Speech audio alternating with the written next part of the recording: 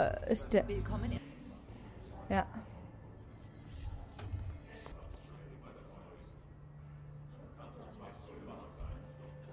Da sind 30 Bildschirme. Mir echt gut vorstellen, so Slam in, ne? Ich will da nicht raus. Vor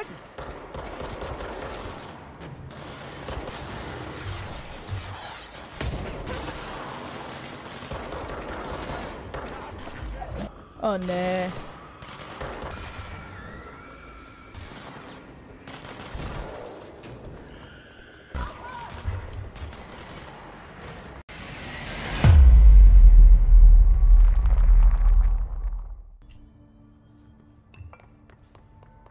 Das ist da, ne? Der Lift ist hier.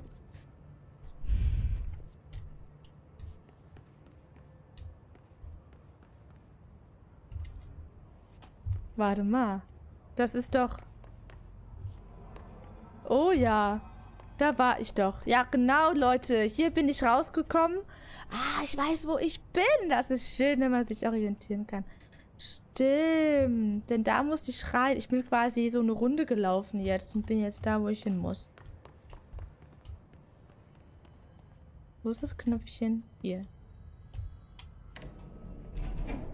Wie die immer so genervt, so Batz, auf, auf den Knopf da trägt.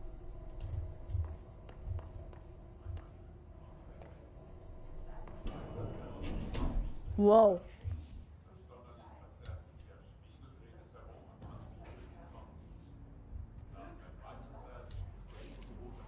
Äh, ist der... Willkommen in der Gruppe, Ma'am. Marshall ist gleich da hinten.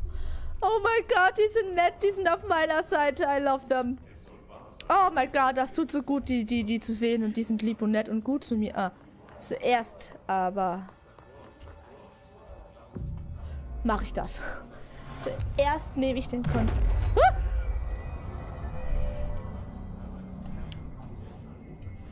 Ja, wo muss ich denn da... Ach, ich muss da rein.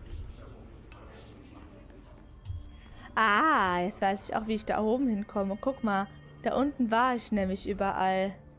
Ja. Ja.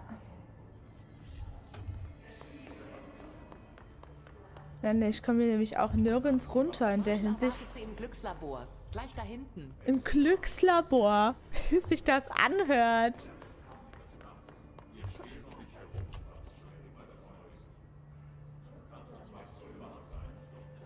Da sind 30 Bildschirme.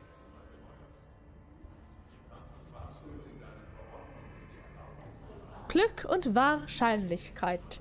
Wo ist die denn? Oh, guck mal, da sitzt so eine, so eine Kitty Cat. Oh. Ah, guck mal! Das ist so ein witziges Random. Oh mein Gott, die sind einfach fertig, die Leute. Oh, Kopierer. Diese Details halt auch einfach. Oh mein Gott, die sind so fertig. Was haben wir denn hier? Was ist... Ich machte mir schon Sorgen. Was habe ich denn jetzt gemacht? Keine Ahnung. Ich suche gerade halt auch Dinge, die ich vielleicht mitnehmen kann. Ah, da hinten. Nee, aber da liegen keine Akten. Doch, hier ist was. Warte mal. Ich versteh's. Das Glückslabor. Da hinten diese japanische Katze soll Glück bringen. Hier hinten die, dieses kleine Ding, was ich ja gerade angetatscht habe. Das war wahrscheinlich, ähm... Hier. Vierblättrige Kleeblätter. Das Wort ist ein Zungenbrecher. Und hier ist ein, äh, Hufeisen. Oh nein. Nein, dann mach's wieder anders, mach's wieder anders. Oh Gott. Ja, Mann. Und nein, ich hoffe, ich habe jetzt kein Unheil angerichtet, weil da unten bringt halt das Hufeisen kein Glück. Und das ist das Glückslabor. Was mache ich? Ich drehe es erstmal nach unten. Supi, gut gemacht, Eva. Was? Im Glückslabor werden Happy People gezüchtet? Ja, man fragt sich mit was. Okay, auf diese Diskussion gehen wir hier nicht näher ein. Wir wissen, glaub alle, was man meint. Uh. Gratulation zu Ihrer Ernennung, Direktorin Faden. Helen Marshall, Einsatzleiterin der Behörde. Zachariah ist also tot. Sie haben wohl seine Waffe gefunden. Nennen Sie mich Jessie. Trench sagte, ich soll Sie finden. Sie könnten helfen. Und er sagte Ihnen das über die Hotline. Macht Sinn. All dem bleibt sie so ruhig? Wirklich? So ist die Lage. Darling hat die HRV in einem Labor in der Nähe gemacht. HRV? Wenn wir überleben wollen, brauchen wir mehr davon. Aber meine Ranger können das Labor nicht allein verteidigen. Nicht gegen diese Dinger. Wir brauchen mehr Feuerkraft. Zumindest scheint sie zu wissen, was hier vor sich geht. Sie könnte auch von Dylan wissen. Ich kann das Zischen vertreiben. Ich bin ihre Feuerkraft. Eine gute Antwort. Testet sie mich? Darling hat Systeme zum Schutz seiner Labore. Damit sollten Sie daran vorbeikommen. Wir reden weiter, wenn Sie das Zischen beseitigt haben. Ranger, lasst sie durch. Nein, Wir müssen die Tür hinter Ihnen schließen. Sorry, aber wir können nichts riskieren. Kennst du den komischen Spiegel den Gang runter? Der soll Seelen stehlen. Keine Sorge. Yo. Die ist bereits weg, seit du hier arbeitest. Irgendwas mit hier den Gang runter. Die Dinger sollen Seelen stehlen. Und dann der Anna. Keine Sorge, die war bereits, die ist bereits weg, solange du hier arbeitest. Das war gut, Leute. Das war echt witzig. Warte mal, habe ich nicht hier irgendwo meine Zugangsberechtigung? Ah, hier Multimedia, das brauchen wir uns nicht alles rinzuziehen. Schriftverkehr. Was haben wir denn hier? Moment. Sehr geehrter Dr. Darling, ich nehme an, dass Sie meine Kollegin Dr. Harrington bereits wegen einer Erhöhung des Abteilungsbudgets kontaktiert hat. Das würde mich nicht überraschen. Parapsychologie war schon immer das schwächste Glied in der Kette, viel Brimborium, aber keine Ergebnisse. Parakinesiologie ist dagegen schon immer die stärkere Abteilung gewesen. Mehr Durchbrüche, konkretere Daten, verwendbare Forschung. Ich bin sicher, ich bin mir sicher, dass ein hochgeschätzter Mann wie Sie mit Leichtigkeit sieht, welche Abteilung die Budgeterhöhung verdient. Denken Sie nur, was, Sie zu, was die zusätzlichen Ressourcen in einem bereits formidablen Forschungsteam für Wunder wirken könnten. Sei, äh, sei es wie es sei, mir ist bekannt, dass Sie Single Malt Whisky zu schätzen wissen. Also habe ich Ihnen eine Flasche auf den Schreibtisch gestellt mit großer Bewunderung. Dr. Abraham Lewis. Boah, ist das ein Pokriecher. Oh, ey, das ist ja schlimm. Nee. Okay. Nadine, senden Sie dies an die Forschungsabteilung zur Analyse betreffs meiner präkognitiven Kräfte. Hä? Whisky nehme ich auch gern ein. Ja, also da kannst du, glaub, meinem Mann auch die Hand geben. Der mag das auch. Ich mag das jetzt nicht so. Ich habe aber eklig gelesen. Eilig, Dr. Darling. Letzte Nacht hatte ich einen Traum. In dem Traum erhielt ich lös die Lösung zu einem Personalproblem, mit dem ich erst gestern konfrontiert wurde. Das Problem ist vertraulicher Natur und kann daher nicht hier nicht näher ausgeführt werden. Aber ich kann Ihnen versichern, dass ich diese nützlichen Informationen durch eine unbestreitbare paranatürliche Methode erhalten habe. Ich kann nur zu dem Schluss kommen, dass ich außergewöhnliche präkognitive Fähigkeiten besitze und biete daher den Forschungsteams der Behörde meine Dienste an. Wir müssen meine Kräfte für das Allgemeinwohl nutzen. Unterzeichnet Mr. Francis Bertram. Okay. Was haben wir hier? Nicht verfügbar. AWE 18. Hä? Oder Slate. Was, was, was? Slam? War ein Whisky oder Slate oder wie auch immer. Dein Mann halt. Ein schönen Verb kann ich nicht Nein sagen. ich kann mir gerade Vizera echt gut vorstellen. So Slam oder Slate. Ach, wach wie immer. Dein Mann halt. Mega. So, Details. Transkript eines Anrufs an den kalifornischen Notrufdienst. Oh, Notrufmitarbeiter. 91 911, bitte sagen Sie mir, was passiert ist. Hallo? Hallo? Ich bin hier. Können Sie mich hören? Ja, ich kann Sie hören, Ma'am. Wo sind Sie? Ich bin, ähm, ich bin in der Leitung. Ich, ich habe mich verirrt. Ma'am, haben Sie heute Abend Alkohol zu sich genommen? Ich habe das Gefühl, dass ich durch die Leitung gezogen werde. Zu Ihnen. Bitte legen Sie nicht auf. Wenn Sie auflegen, bin ich vielleicht weg. Was meinen Sie mit weg, Ma'am? Weg. Fort. Raus. Okay, und können Sie Ihre Umgebung beschreiben? Unbekanntes Geräusch. Ma'am? Hallo? Ma'am? Anmerkung. Der Notrufmitarbeiter versuchte, die Nummer zurückzurufen, doch der Anschluss existierte nicht mehr. Damn, das ist schon creepy. Da kriegst du so einen Anruf, so, yo, ja, hier, wie kann ich helfen? Ich stecke fest! Ich stecke in der Leitung! Machst du eine Wette halt ein? Dass wir mal auf unserem eigenen Grund und Boden kämpfen? Ehrlich, ich war schon in Grenzbereichen, die sicherer waren als das hier. Ja, und die Zischer haben das Haus in einen Grenzbereich verwandelt, ha? Das ist schon creepy, wenn die da so reden, ne? Ich will da nicht raus. Vor allem, die machen die Tür direkt hinter mir zu. Warte mal, ich gehe mal nochmal hier schnell den Kontrollpunkt. Ich möchte speichern. Bitte lass mich das tun. Ich hoffe, das ist jetzt so, dass ich jetzt gespeichert habe. Was? Nee.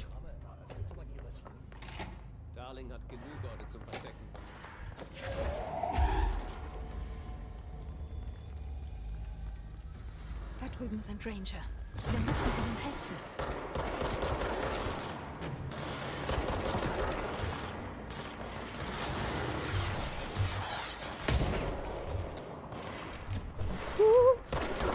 Ey, ey, ey, ey.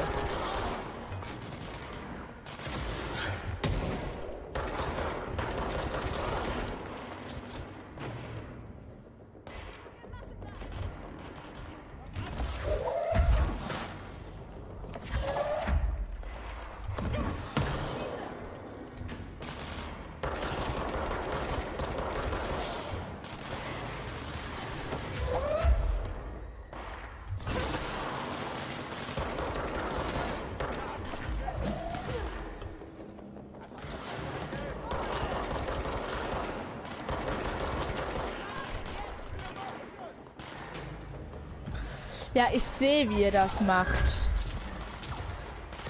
Menschen.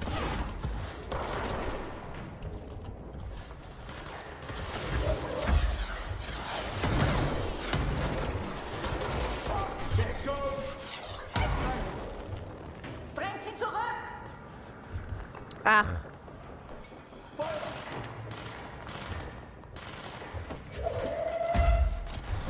Ach, verdammt.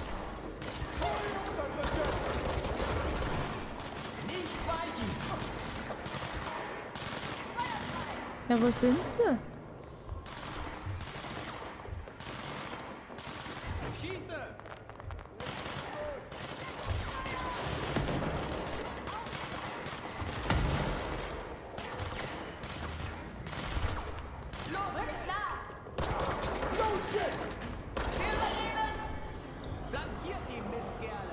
Oh, nee.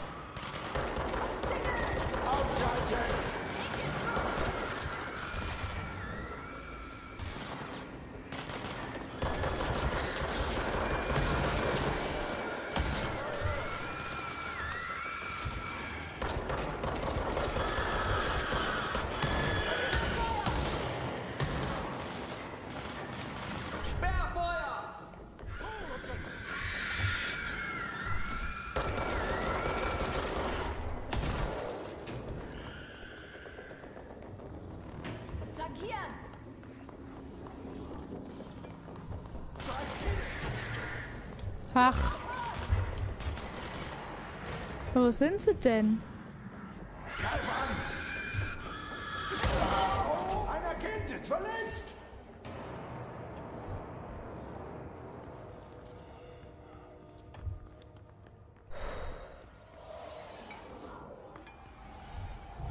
Yes.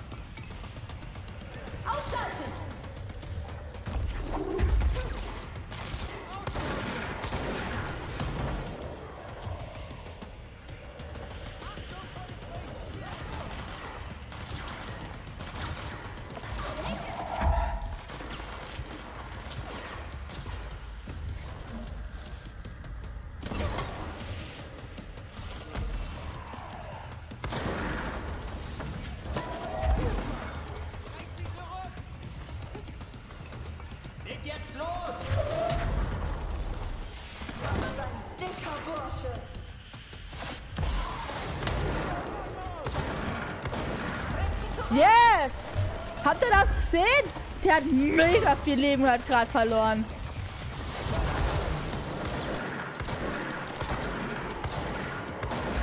Nein! Jo, Junge. Yes!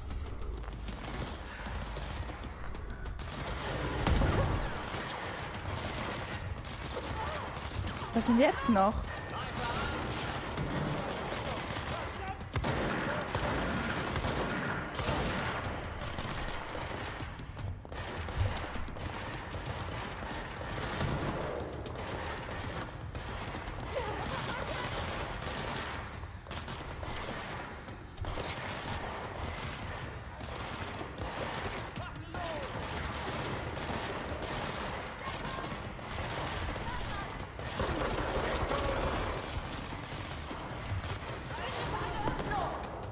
Wo?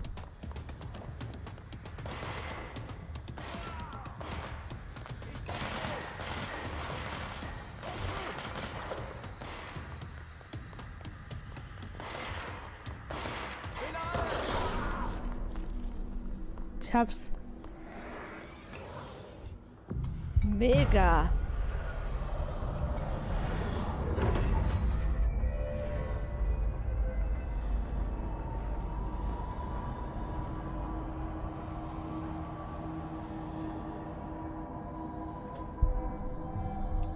Mega geil. Na komm, mach. So, sehr schön. Äh. Oh Gott. So oft wie ich verreckt bin, Leute. Ne? Hab ich ja leid. Oh nein. Oh, rest in peace, ihr Crewmitglieder. Eieiei.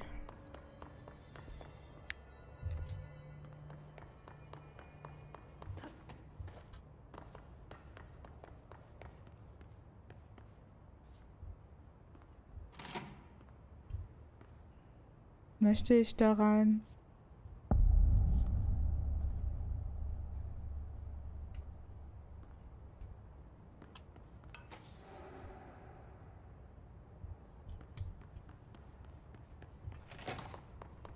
Ungern.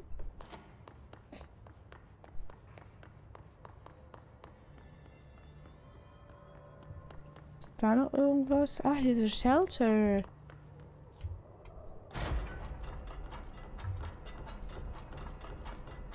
Oh, guck mal, gut, dass wir hier reingegangen sind. Hier haben wir nämlich so ein Ding. Und eine Akte.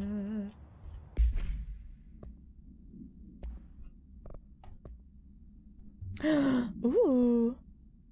Dann hier. Sicherforschung. Das ist immer geil, wenn das weitergeht, Leute. Die pa So, was haben wir hier? Feldforschung über Sicherwesen, paramutierte Agent. Vertraulich, klar. Zusammenfassung. Die paramutierten Zischer beherrschen nur paranatürliche Fähigkeiten, ähnlich der augmentierten Zischer. Ja, sie können sich auch telekinetisch mit Materialien aus der Umgebung abschirmen und Gegenstände auf ihr Ziel schleudern. Diese Wesen sind besonders zerstörerisch ähm, und schwer zu töten, was möglicherweise auf eine größere innere Verstärkung der Resonanz des Zischens hindeutet. Ja gut, mit einer richtigen Waffe geht das ja relativ schnell, haben wir jetzt auch gesehen, ne? Warum zeigen bestimmte Zischer paranatürliche Fähigkeiten, während sich andere auf Feuerwaffen der Behörde verlassen? Haben bestimmte befallene Wesen weniger Potenzial als die Wirtskörper von paramutierten Zischern? Oder ist es vielleicht ein Anzeichen einer Evolution oder Reifung des Befalls? Durch das Zischen? Gibt es noch andere Evolutionsphasen, die wir noch nicht gefunden haben? Was passiert, wenn das Zischen einen Monat lang im Wirt vorhanden ist? Ein Jahr lang. Verfallen die Wirte nach einer bestimmten Zeit, wird der Befall zu stark, sodass ein biologischer Organismus es nicht mehr aushalten kann. Das wird nur die Zeit zeigen und gut dokumentierte Beobachtungen.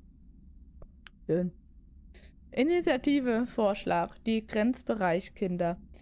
Mit der jüngsten Ankunft der offenbar, si offenbar sich unübersehbare Lücken äh, offenbaren in der Fähigkeit der Behörde, einen Jungen zu erziehen.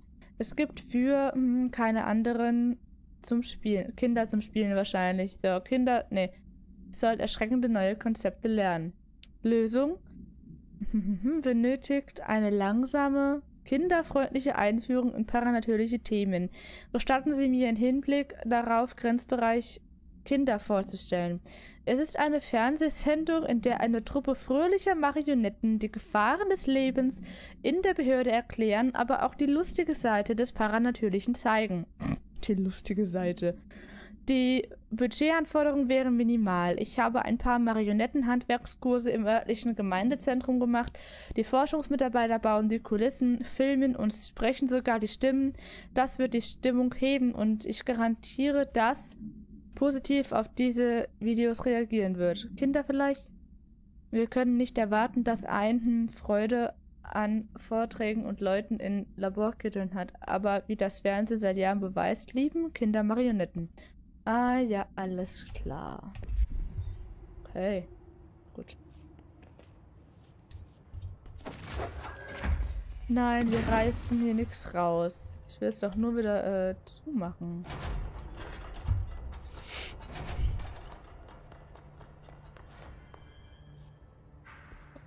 So, wo bin ich? Wo bin ich? Ich bin hier. Ja, ich muss hier geradeaus. Weiter, ne? Ja, ich frage mich. Ritualoffice.